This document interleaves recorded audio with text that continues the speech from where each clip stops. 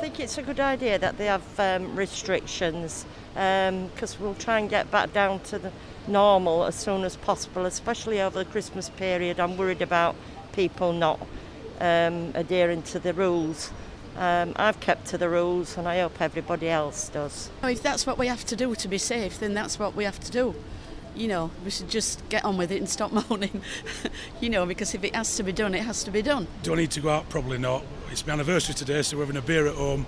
We're just got to live with it, haven't we? Do you know what I mean? It's negative all the time, but try and be positive, that's all we can do. But tier three, will it help? I'm not sure, to be honest. I'm not political, but I think government have made a mess of this. They make a mess of a lot of things, but I think as human beings, we have to just sort our own selves out and, and just stick to rules. My employees at the moment, who we're looking at going into, you know, a, big period of decline in hours-wise and money-wise. So uh, economically, it's a very tough time for lots of people, um, and I think the government should be doing more um, sensible measures to fight this pandemic.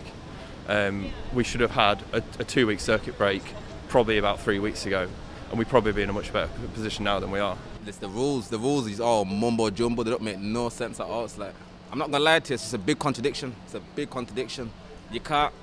I can't chill with my, my family who live somewhere else, but I can chill with strangers. I can't.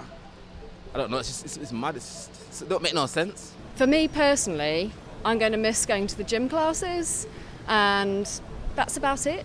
Um, the other restrictions uh, are not going to impact me personally, but obviously there's going to be a huge impact on the economy in Leeds, and that is a shame. Um, but maybe it's what we need just to make sure that we can keep going in the future, and hopefully the impact will be less, and hopefully we won't get a full lockdown because that'd be so much worse.